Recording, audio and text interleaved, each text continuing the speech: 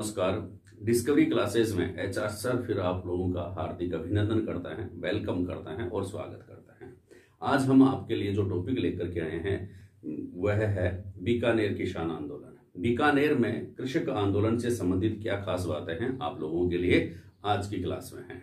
Descriptive भी आप बहुत अच्छी तरह से सोल्व कर पाएँगे और ऑब्जेक्टिव भी आप अच्छी तरह से सोल्व कर पाएँगे देखिए बीकानेर किसान आंदोलन जो है, दिमाग में जो भी बात सबसे पहले आती है कि बीकानेर किसान आंदोलन जो है, कब प्रारंभ हुआ और कब फिनिश हुआ? तो पहली बात यह है कि सन उन्नीस सौ उनतीस में 1929 1929 में बीकानेर किसान आंदोलन जो है, वह प्रारंभ होता है और खत्म कब होता है समाप्त कब होता है? 1948 में यह समाप्त उन्नीस सौ उनतीस में प्रारंभ होता है 1948 में समाप्त होता है। कई बार डेट भी पूछ ही लेते हैं तो आप डेट ध्यान में रखेंगे। 16 अप्रैल उन्नीस सौ उनतीस को बीकानेर में कृषक आंदोलन प्रारंभ होता है। बीकानेर में किसान आंदोलन प्रारंभ होता है। समझ में आ गई बात? दूसरी बात है, कहाँ प्रारंभ होता है? दूधवा खारा नामक स्थान पर प्रारंभ होता है। कहाँ पर प्रारंभ होता है? दूधवा खारा नामक स्थान पर बीकानेर किसान आंदोलन, बीकानेर कृषक आंदोलन प्रारंभ होता है। कहाँ पर? दूधवा खारा, जिसको अपन दूधवा खेड़ा भी पहले कहते थे। क्या कहते थे पहले? दूधवा खेड़ा। वर्तमान में क्या कहते हैं? दूधवा खारा, दूधवा खेड़ा जो है वह कहाँ पर था? बीकानेर में था। और वर्तमान में ये जो स्थान है, दूधवा खारा नामक स्थान, वह कहाँ पर है? चूरू में है। इतनी बात आप ध्यान में रखें। बात क्या याद हुई? बीकानेर किसान आंदोलन जो है, वह कब प्रारंभ होता है? डेट ध्यान में रखना 16 अप्रैल उन्नीस कहाँ से प्रारंभ होता है? तो याद रखना, कहाँ से प्रारंभ होता है भाई? दूधवा खारा या दूधवा खेड़ा दूधवा खेड़ा प्राचीन नाम दूधवा खारा अद्यतन नाम, वर्तमान नाम। ठीक है? पहले कहाँ पर था? दूधवा खारा बीकानेर में, अब कहाँ पर है? चूरू में। ठीक है? ध्यान में रखना कि 16 अप्रैल उन्नीस सौ उनतीस को यह प्रारंभ होता है तो कौन प्रारंभ करता है कि बीकानेर में किसानों ने एक एसोसिएशन बना लिया था उस समय। जागरूक थे वहाँ के किसान, जमींदार एसोसिएशन के नाम से वहाँ पर एक एसोसिएशन बना लिया गया था। कहाँ पर? बीकानेर में, ठीक है? और उस एसोसिएशन का अध्यक्ष जो है, वह सरदार दरबार सिंह कर रहे थे। कौन कर रहे थे? सरदार दरबार सिंह। समझ गए बात को? क्यों? आंदोलन कौन कर रहा है? जमींदार एसोसिएशन कर रहा है। अध्यक्ष कौन है? दरबार सिंह सन ऑफ़ शेर सिंह। सरदार दरबार सिंह जो है, इसका नेतृत्व करते हैं शुरुआत में।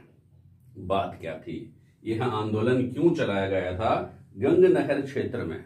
गंग नहर क्षेत्र जो है, उसमें ये आंदोलन चलाया गया था। तो क्या दिमाग में बात आती है? दिमाग में बात आती है कि यह जो आंदोलन है, वह पानी के लिए चलाया जा रहा होगा। बहुत इंपॉर्टेंट प्रश्न आता है यहाँ से कि किस कर के विरोध में बीकानेर में किसान आंदोलन प्रारंभ हुआ था 16 अप्रैल उन्नीस सौ उनतीस को। तो कर का नाम है आबियाना कर क्या नाम है भाई? आबियाना कर कौन सा कर है? आबियाना कर याद रह जाएगा। आबियाना कर और जिसको हम कहते हैं पानी कर ठीक है? तो पानी पानी हो गया है। आपको याद हुआ या नहीं हुआ है आबियाना कर आप ध्यान में रखेंगे। आबियाना आबियाना कर बीकानेर का पानी कर तो क्या होता था कि पानी कर जो है, वह किसानों से ज़्यादा लिया जाता था। पानी कर ज़्यादा लिया जाता था। और दूसरी बात क्या है? उसके बदले में जो कर लिया जाता था ना, जितना कर लिया जाता था, अरे कम से कम उतना पानी तो उपलब्ध करवाओ। ठीक है? लेकिन नहीं करवाते थे, क्या करते किसान? आंदोलन करते। क्या करते भाई? आंदोलन करते। किसको विरोध में करते? पानी करके विरोध में करते। और क्या है? ज़मीन की किस्तें देने में किसानों को देरी हो गई किसान तो भाई बरसात पे डिपेंड रहता है। तो ज़मीन का जो कर देने में किसान जो है, उसको देरी हो रही थी और इसका शोषण जो है, वो वहाँ के शासक वर्ग, वहाँ के जमींदारा वर्ग कर रहे थे, ठीक है? तो ब्याज दर वहाँ, जो किस्तें थी ना, ज़मीन की किस्तें, वहाँ पर ब्याज दर भी बहुत अधिक थी। क्या थी? ब्याज दर भी बहुत अधिक थी। शासक गंगा सिंह ने के सामने जब यह आंदोलन चला तो उन्होंने जमींदारों को कुछ राहत देना प्रारंभ कर दिया। जमींदारों को बहुत सी सुविधा उन्होंने कर, दे दी। वही क्या कर दिया? गंगा सिंह ने। शासक कौन था? बीकानेर का। गंगा सिंह था। कब था? जब बीकानेर का किसान आंदोलन चल रहा था। कब चल रहा था? 16 अप्रैल उन्नीस सौ उनतीस से चल रहा था। कौन से कर के विरोध में चल रहा था? आबियाना कर के विरोध में चल रहा था। कौन से कर के विरोध में? आबियाना करके विरोध में यह आंदोलन चल रहा था। ठीक है? तो क्या सुविधाएँ दी भाई? उसने गंगा सिंह ने देखा आंदोलन कर रहे हैं तो कुछ ना कुछ छूट तो दे दी जाए। ब्याज दरों में कमी कर दी गई। पहली बात, ब्याज दरों में कमी कर दी और एक चक से दूसरे चक में और या फिर एक ही चक में अगर भूमि की अदला बदली होती है ना तो उसको वैद्य कर दिया गया। वह लीगल कर दी गई कि हाँ एक ही चक में भूमि की अदला बदली की जा सकती है। नेक्स्ट 1930 में बात कर रहे हैं। 1930 में खरीफ की फ़सल पर लगान 16 परसेंट कम कर दिया गया। क्या किया? भाई बीकानेर के शासक गंगा सिंह ने कुछ अच्छे कदम उठाए। भाई खरीफ की फ़सल पर लगान 16 परसेंट कम कर दिया गया। 1930 में 1931 में रबी की फ़सल पर 25 परसेंट लगान कम कर दिया गया। ये सारी बातें जो काम में आने वाली है ना, ये आर एस डेस्क्रिप्टिव एग्ज़ाम कभी भी होती है तो उसमें आने वाली बात होती है, या फिर निम्नलिखित में से कौन सा कथन गलत है, उनमें आपको प्रश्न सोल्व करना हो, तब जाके ये बातें आपके काम की होती हैं। तो पूरी क्लास आप ध्यान से सुनेंगे। 1930 में खरीद की फ़सल पर लगान कितना कम किया?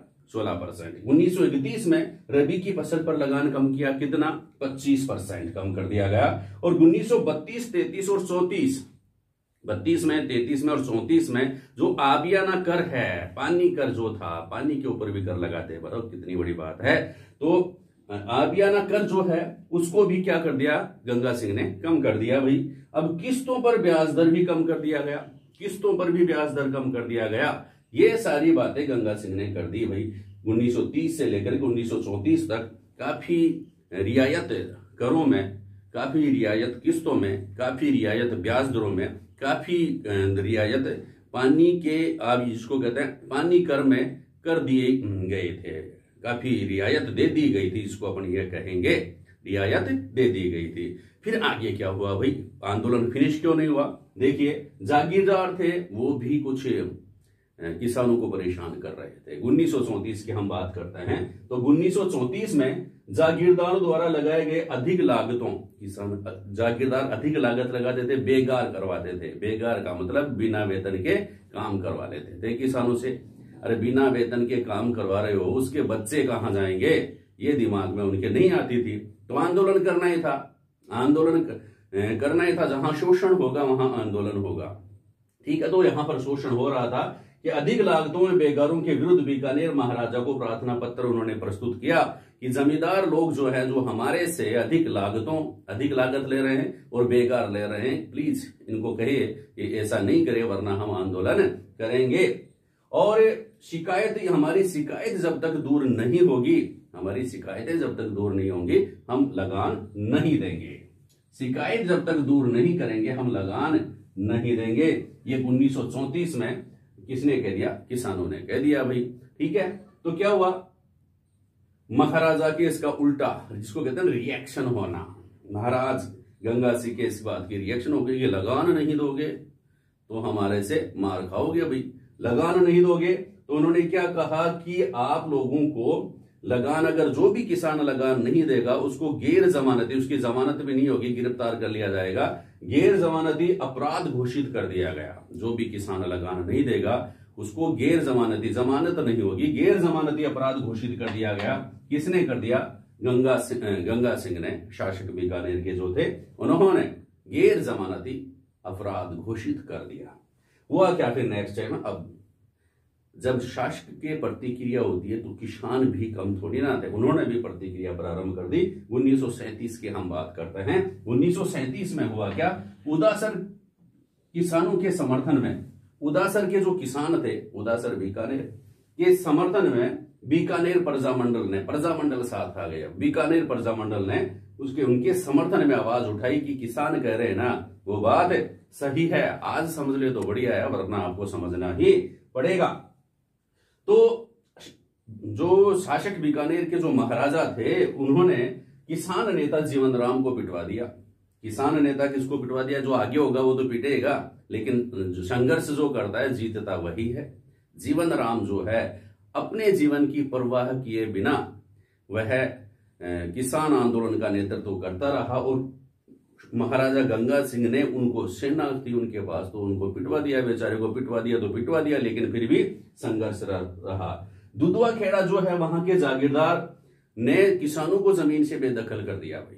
अब जागीरदार भी एक और हैं तो दुधवा खेड़ा, जिसको वर्तमान में कहाँ पर है? चूरू में, जहाँ ये आंदोलन प्रारंभ हुआ था, वहाँ के जागीरदार ने जमीनों, किसानों को जमीनों से बेदखल कर दिया।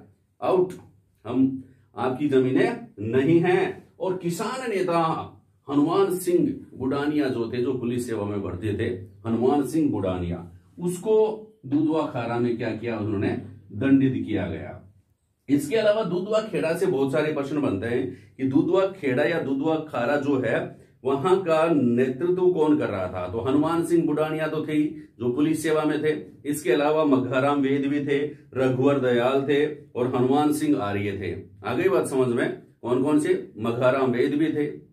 ठीक है मघाराम वेद और हनुमान सिंह और हनुमान सिंह बुडानिया जिसको कहते हैं, हनुमान सिंह आर्य और रघुवर दयाल, ये सब किसके थे? दुधुआ खेड़ा जो किसान आंदोलन थे, वहाँ पर उनका नेतृत्व कर रहे थे। ठीक है, हनुमान सिंह को दुधवा खेड़ा में क्या किया भाई? दंडित करवा दिया गया। दंडित करवा गया, इसको दंड दो भाई। फिर किसान जो है, किसानों को जब इतना अत्याचार हो रहा था, उसको संगठित करने का कार्य किया वह किसानों को संगठित किया जाए, क्योंकि संगठन में शक्ति है। ऐसे नहीं मानेंगे। Union is strength. तो बीकानेर प्रजा परिषद ने, बीकानेर प्रजा परिषद जो है, यानी कि प्रजा मंडल की जो यहाँ एक्टिविटी चालू हो रही है, बीकानेर प्रजा परिषद ने क्या किया? किसानों को संगठित करने का प्रयास किया। और प्रयास संगठित करने के लिए क्या आयोजित करनी पड़ती है? सभा आयोजित करनी पड़ती है। तो वो ही प्रयास इन्होंने किया कि 30 जून व 1 जुलाई उन्नीस सौ छियालीस को 30 जून व 1 जुलाई उन्नीस सौ छियालीस को एक सभा का उन्होंने आयोजन किया। बीकानेर प्रजा परिषद ने एक सभा का आयोजन किया। ले, इस सभा में क्या है? सभा का आयोजन किया तो भाई शासक तो कुछ करेगा, महाराजा तो कुछ करेंगे। तो पुलिस ने वहाँ पर लाठियाँ चलाई, गोलियाँ चला दी। एक व्यक्ति मारा गया। और एक खास बात और क्या है कि बीरबल सिंह जो है, एक व्यक्ति था बीरबल सिंह। वह अपने हाथ में झंडा झंडा ले लिया। उसने हाथ में किसान आंदोलन का झंडा लेकर के आगे बढ़ता रहा। गोलियाँ चलती रही। बीरबल सिंह आगे बढ़ता रहा। गोलियाँ चलती रही। बीरबल सिंह आगे बढ़ता रहा, उसके हाथों में पैरों पैरों में गोलियाँ लगी। लेकिन वह ज़िंदा था। लेकिन देखो, पुलिस की क्रूरता देखिए आप। क्या क्रूरता देखें कि उसको पुलिस बीरबल सिंह को हॉस्पिटल ले जा रहे थे, लेकिन पुलिस वालों ने उनको रोक दिया। बताओ आप, पुलिस बीरबल सिंह को हॉस्पिटल नहीं ले जाने दिया। अगर बीरबल सिंह हॉस्पिटल पहुँच जाता तो वह बच जाता।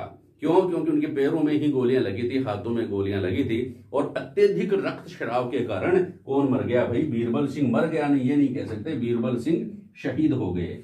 बीरबल सिंह शहीद हो गए। इसी प्रकार कांगड़ के जागीरदार जो थे कांगड़ के जागीरदार जो थे उन्होंने भी सात नेताओं को किसान नेताओं को पिटवाया। कांगड़ के जागीरदार जो थे उन्होंने कितने नेताओं को पिटवाया?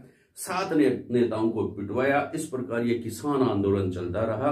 अंततः इस किसान आंदोलन की जो समाप्ति होती है, वह कब होती है? 1948 में लोक मंडल की स्थापना के साथ। भारत आज़ाद हो गया, फिर भी शोषण चल रहा था, लेकिन 1948 में जब यहाँ पर लोकमंडल की स्थापना हुई, तब बीकानेर किसान आंदोलन फिनिश हुआ। ठीक है? प्रश्न तो बनते हैं, कौन, कहाँ कहाँ मुख्यतः ये किसान आंदोलन है? तो आप देखेंगे कांगड़ा में, कांगड़ में, दूधवा खेड़ा में, ठीक है? फिर कहाँ पर? ये दूधवा, खेड़ा, कांगड़, और आप ध्यान में रखेंगे, ये जगह जो है ना, उदासर, देखो, उदासर में किसान आंदोलन, दूधवा, खेड़ा में किसान आंदोलन, और कांगड़ में किसान आंदोलन तो इसका मतलब क्या है? उग्र रूप यहाँ देखने को मिलता है यहाँ पर। दुधवा खारा में तो प्रारंभ हुआ, कब प्रारंभ हुआ?